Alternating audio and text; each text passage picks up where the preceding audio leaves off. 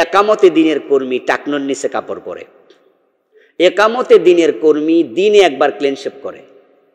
একামতে দিনের কর্মী মেয়েটা পর্দা করে স্কুলে যায় না। একামতে দিনের কর্মী বউটা চাকরি করে, বোরকা পরে না। অথচ তিনি একামতে দিনের জন্য যান দিয়ে ফেলতেছেন। একামতে দিনের ক্ষেত্র হলো তিনটা। এক নাম্বার ব্যক্তি জীবন। দুই নাম্বার পারিবারিক জীবন। তিন নাম্বার, সামাজিক বা রাষ্ট্রীয় জীবন। আপনি দিন কায়েম করবেন তিন জায়গায়। এখানে একটু ঝামেলা হয়ে গেছে। আমরা যারা একামতে দিনের পক্ষের লোক, তাদের মাঝে একটু ঝামেলা আমি দেখি। তারা অনেকেই একামতে দিন বলতে রাষ্ট্রে ইসলাম বোঝে। ব্যক্তি জীবনে যে লাগবে, এটা অনেকে কম বোঝে। তাই একামতে দিনের কর্মী টাকনোর নিচে কাপড় পরে। একামতে দিনের কর্মী দিনে একবার ক্লিনশেপ করে।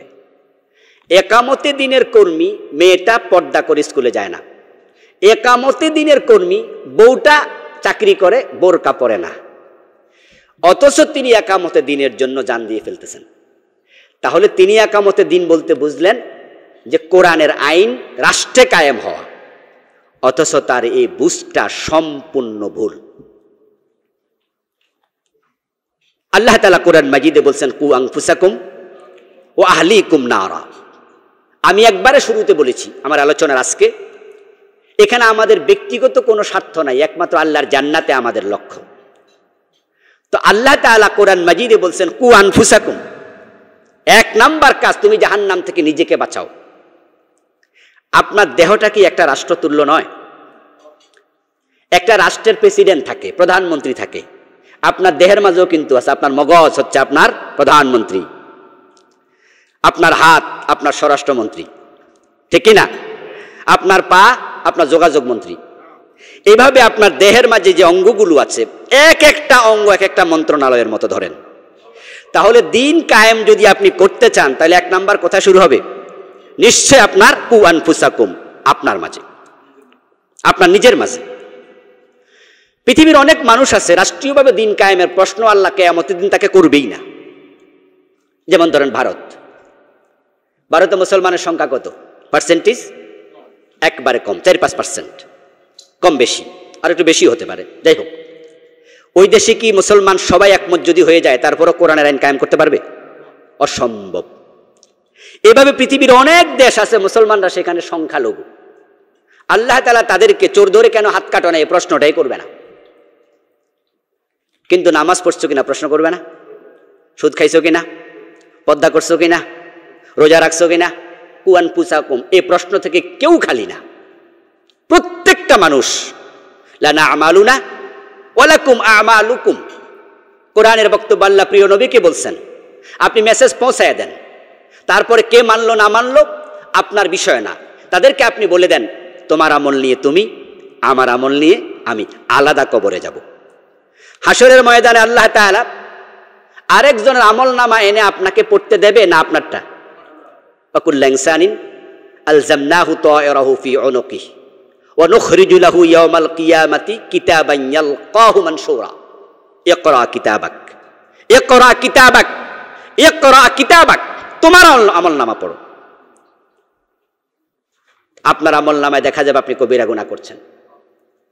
টাকনুর নিচে কাপড় পরা কবিরা গুণা দাড়ি কামানো কবিরা গুণা মিথ্যা বলা কবিরা গুণা সুদের সাথে থাকা কবিরা গুণা একামতে দিনের কর্মী সুদি ব্যাংকে চাকরি করে। আমি আশ্চর্য হয়েছি।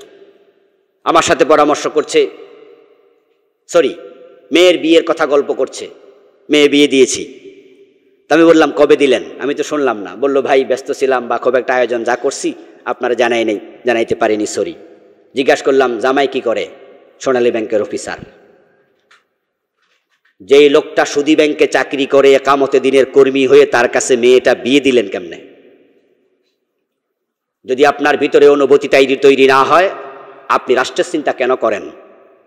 যে আপনি নিজের দেহের মাঝে ইসলাম কায়েম করতে পারেননি, আপনি রাষ্ট্রে কায়েম করবেন কীভাবে? এই জন্য একামতে দিনের এক নাম্বার ক্ষেত্র হচ্ছে প্রত্যেক মানুষের নিজের ব্যক্তি জীবন। তারপরে এবার পারিবারিক জীবন। ওয়াহলিকুম নারা।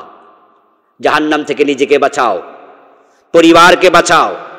এখন পরিবারের উপরে যিনি দায়িত্বশীল, তাকে পরিবারকে জাহান্নাম থেকে বাঁচানোর চেষ্টা করতেই হবে। জাহান্নাম থেকে নিজেকে বাঁচানো যেমন ফরজ, পরিবারের লোকদেরকে বাঁচানোর চেষ্টা কর ফরজ। হাদিস হচ্ছে দায়ুস লায়াত হলুল জান্না দায়ুস জান্নাতে যাবে না। একামতে দিনের কর্মী। আপনি মিছিলের সামনে থাকেন। একামতে দিনের রাস্তায় মানি ইসলামী আন্দোলনে আপনি প্রথম সারির কর্মী। অথচ আপনার মেয়েটা বোরকা সারা কলেজে যায়। পর্দা করছে না। একামতে দিনের কর্মী বউ পর্দা করছে না। তাহলে আপনি দায়ুস হয়ে গেছেন। দায়ুস বলা হয় সে পুরুষকে। যে পুরুষের গাফলতির কারণে তার পরিবারে বেপর্দার জন্ম নেয়।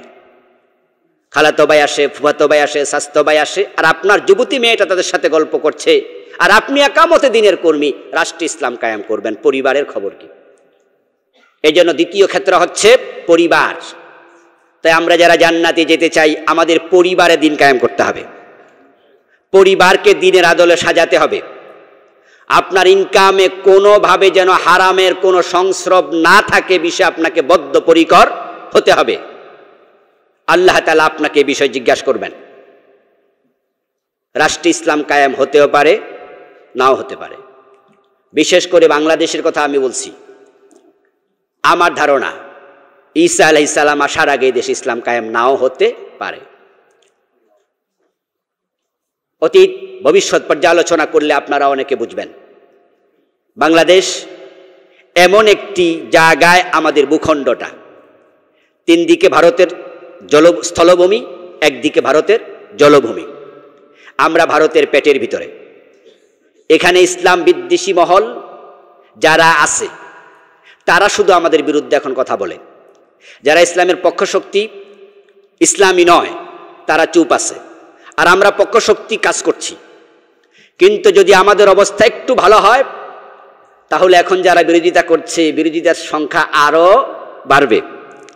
এমনভাবে বাড়বে, তারা সবাই মিলে যদি আমাদেরকে দমন করতে না পারে, প্রয়োজনে দাদাদেরকে টেলিফোনে বলবে।